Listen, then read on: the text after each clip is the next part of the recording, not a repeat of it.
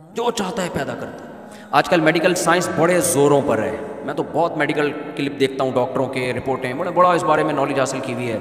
ये खाना ज़रूरी है, ये खाना वो सारी रिपोर्टें अपनी जगह सही हैं। विटामिन सी बहुत ज़रूरी है जी विटामिन डी बहुत ज़रूरी है जी, और आयरन भी बहुत ज़रूरी है, और पोटाशियम भी बहुत ज़रूरी है, और मैग्नीशियम भी बहुत ज़रूरी है। आप यूट्यूब पे सुनते रहो ना, ज़रूरी ज़रूरी के चक्कर में आदमी थोड़े दिनों में क्या हो जाता है? पागल फिर डॉक्टर बताते हैं, आप रोज़ाना लेमन लें ताकि वाइटामिन सी मिले आपको। कीनो माल्टे खाया करें, अमरूद खाया करें, इसमें ज़्यादा विटामिन सी, अमरूद में आपके जो है ना, वरना इम्यून सिस्टम का बेड़ा गर्क हो जाएगा, आपका सारे प्रोग्राम बढ़ जाएँगे आपके, अगर विटामिन सी नहीं फिर ये खाएँ, फिर ये खाएँ, फिर ये खाएँ, फिर ये खाएँ। खाना ज़रूरी है डॉक्टरों की रिपोर्ट है भाई। जब हम सहरा में जाते हैं, गाँव देहातों में जाते हैं, इनकी जी कितनी उम्र है? सौ साल। तो विटामिन सी तो रोज़ाना लेते होंगे। कहते हैं, ये क्या होता है भाई विटामिन सी भाई प्रोटीन वाली गजाएँ भाई क्या होता है प्रोटीन भाई, खा क्या रहा है? कह रहे हैं, सत्तू पी रहे हैं।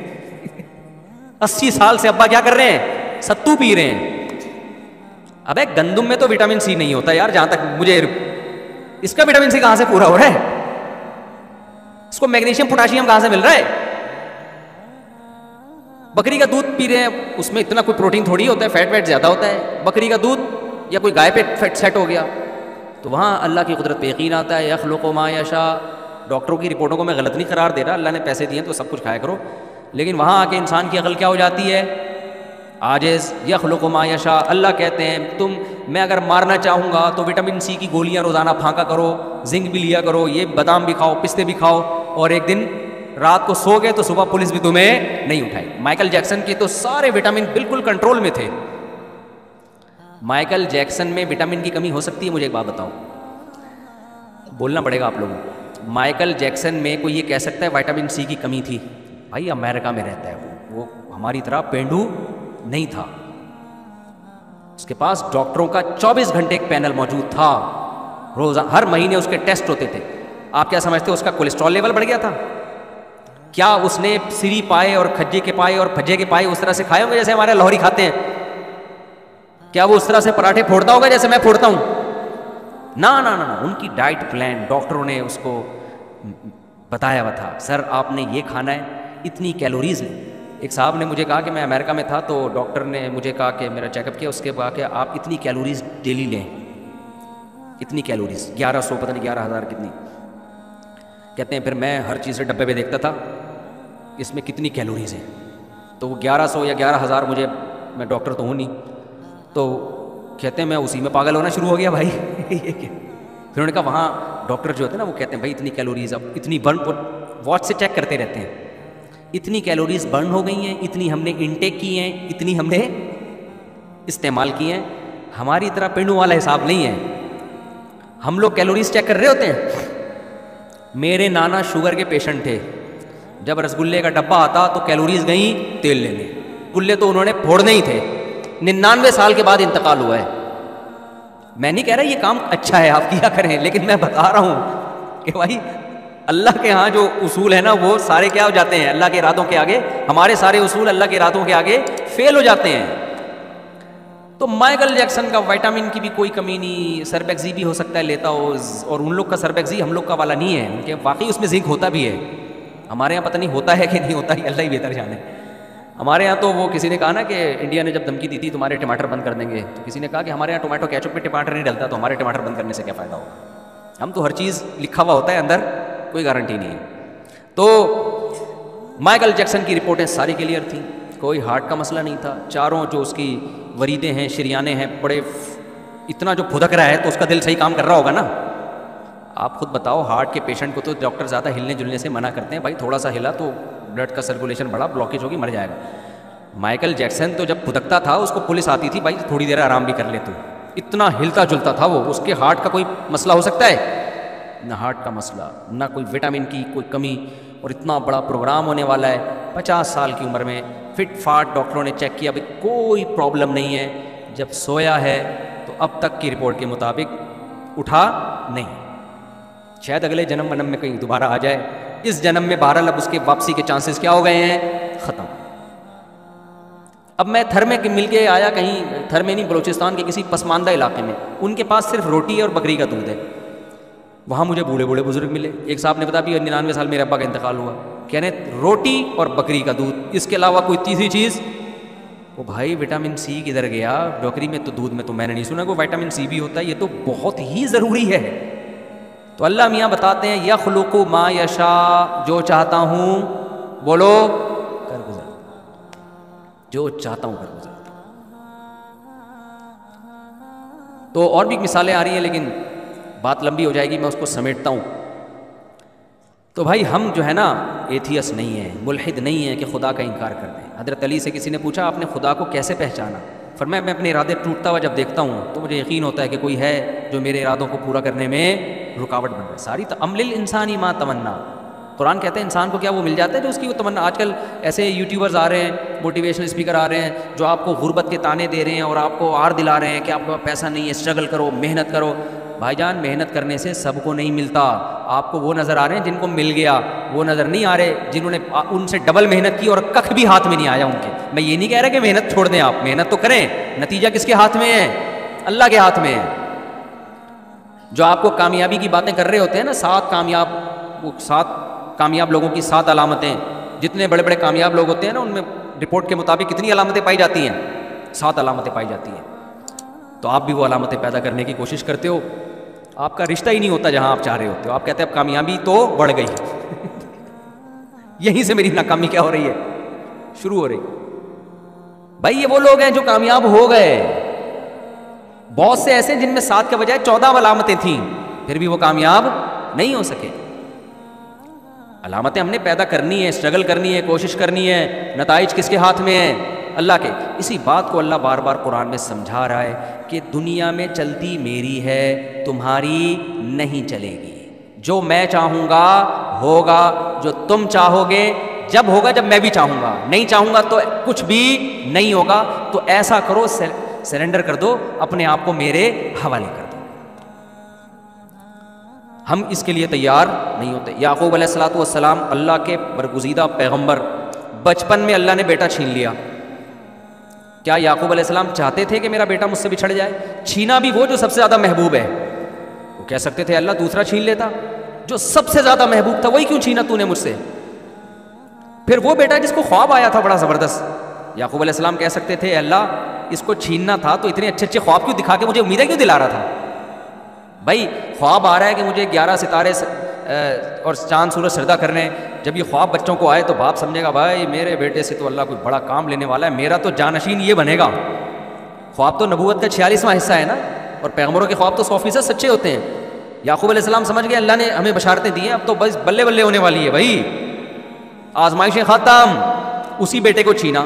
हम और आप होते हैं, बोलते हैं, अल्लाह, इतने बड़े बड़े वादे क्यों कर रहा था जब तूने छीनना ही था ये मुझसे?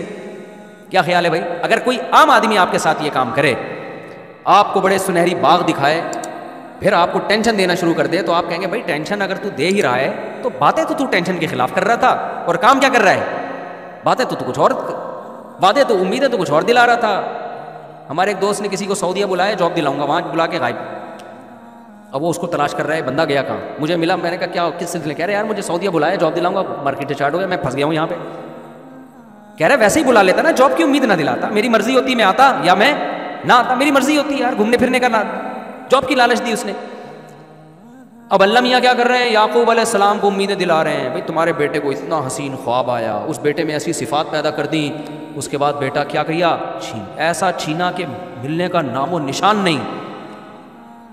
याकूब सलाम ने कोई शिकायत नहीं की अल्लाह, तूने यही वाला बेटा क्यों छीना? कोई और छीन लेता? तू मौत दे देता, तसल्ली तो हो जाती, गुमशुदा बच्चे पे तो तसल्ली नहीं होती। लेकिन याकूब अलैहिस्सलाम अल्लाह के बारे में जानते थे कि भाई मैं सरेंडर कर चुका हूँ किसके सामने? अपने आप को अल्लाह के सामने। कोई शिकायत नहीं करूँगा, क्योंकि मुझ पर चलेगी किसकी? अल्लाह की। जैसा जैसा कर रहा है, जो अल्लाह का काम है उसको करने दो। हमारा काम है सबर करना, ज़बान से नाशुक्री ना करना। और जो गम खुद ब खुद हो रहा है, वो हमारे कंट्रोल में नहीं है। भाई, जो चीज़ आपके कंट्रोल में नहीं है, उसमें अल्लाह आपसे सवाल भी नहीं करेगा। रोज़े में आपको भूख लग रही होती है, कंट्रोल में है? अबे भाई, शदीद गर्मियों का बड़ा लंबा रोज़ा हो। भूख भी लग रही है, प्यास भी लग रही है, खाना खाने का दिल भी चाह रहा है, पानी पीने का दिल भी चाह रहा है, इफ्तारी में बैठे होते हैं ना, यूँ यूँ यूँ कर रहे होते हैं जल्दी से।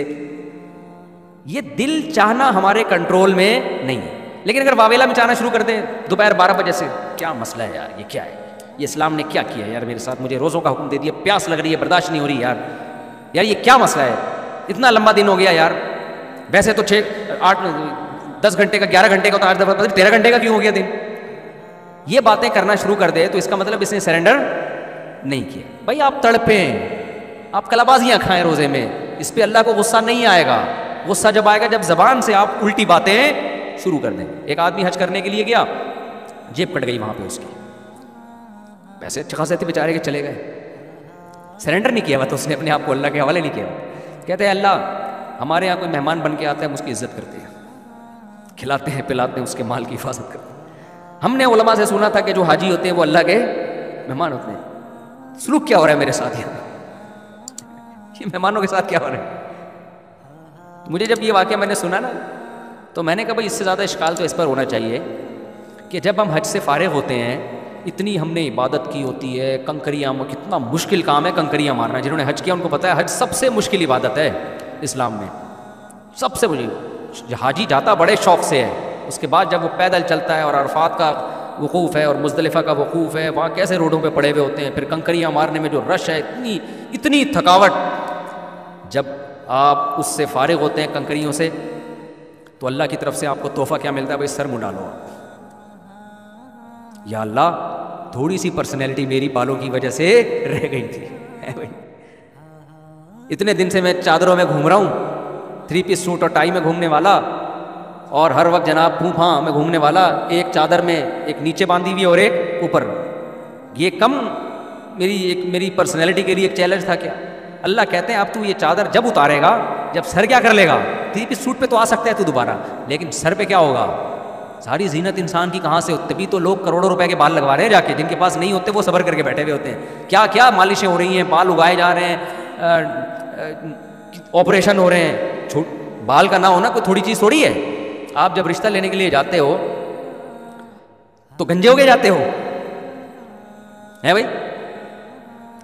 तो लेकिन अल्लाह मियाँ क्या करते हैं, जब आपने हज किया, इतना लंबा सफ़र किया, इतने लाख खर्च किए उसके बाद अल्लाह मियाँ क्या कहते हैं, भाई, ये जो थोड़ी सी पर्सनैलिटी आपकी बाकी रह गई है, इसको भी क्या कर दो, ख़त्म। अब इंसान अगर हमारे साथ ये सलूक करे ना, हमें शिकायत का हक बनता है। हम किसी के घर मेहमान बन के गए, उसकी दावत पे अपना खर्चा किया, इतना पैसा दबा के हमने खर्च किया मेहमान के इतनी टेंशन के बाद उसके घर में पहुँचे, वो हमें टेंट करवा के बाहर भेज दे।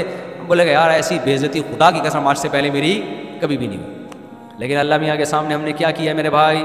सरेंडर किया हुआ है। हम जाते हैं, अल्लाह मियाँ सर मुड़ा के वापस भेजते हैं खुशी खुशी आके दिखा रहे हैं, भाई, देखो, हज करके आया हूँ, देखो। मैं तो अब पहले, मैंने कसर दो तीन दफ़ा, मैं तीन चार दफ़ा हल करवा चुका हूँ। अब मैं क्या करता हूँ? कसर करवा लेता हूँ। तो मैंने इतने बड़े बाल रखे हुए मैंने भी कसर करवाए एक आदमी ने कहा चार उम्रें और हो सकते हैं। मेरे भाई, ठीक है। बड़े बालों का ये फ़ायदा होता है मैंने इसमें तो चार उम्रें और हो सकते हैं। तो मुझे किसी ने कहा आप टेंट क्यों नहीं कराते? भाई, पहली दफ़ा मैं हज पे गया टेंट करवाया। उम्र किया अटेंड करवाई। दो तीन दफ़ा करवा चुका हूँ। अब मैं क्या करता हूँ? कसर। हालाँकि कसर में कम सवाब है टेंट में ज़्यादा सवाब है। तो मुझे कहते हैं, लोग, अब आप टेंट क्यों नहीं करवाते? मैं कहता हूँ, मेरी चार बेगमात मैं दहशत गर्दी का जड़ से खात्मा नहीं कर सकता। कुछ बाल छोटे करके दहशत गर्दी कम तो होती है, लेकिन मैं अब जड़ से दहशत गर्दी का खात्मा, हमारी हुकूमत कहती है ना दहशत गर्दी को जड़ से ख़त्म करेंगे। भाई, अगर आपने जड़ से ख़त्म कर दिया तो आपके खांचे भी तो बहुत सारे बंद हो जाएँगे ना। क्या ख्याल है? इसलिए हुकूमत दहशत गर्दी को कहती है, हम जड़ से ख़त्म करेंगे। लेकिन कभी जड़ से ख़त्म, क्योंकि दहशत गर्दों से इनके अपने खांचे बहुत सारे चल रहे होते हैं कभी भी जड़ से ख़त्म नहीं करेंगे। तो मैंने कहा, भाई, अब मेरी, मुझे थोड़ी सी दहशत चाहिए।